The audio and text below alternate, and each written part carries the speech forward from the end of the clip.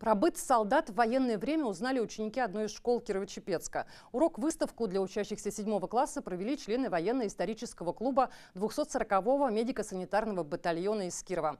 О чем именно рассказывали, смотрите далее. Это винтовка драгунская. Были пехотные еще модификации. Винтовки, пистолеты, обмундирование. Много из того, чем пользовались российские солдаты, смогли увидеть чепецкие школьники. Рассказать нюансы жизни военных к семиклассникам в гости пришли участники военно-исторического клуба 240-го медико-санитарного батальона из Кирова.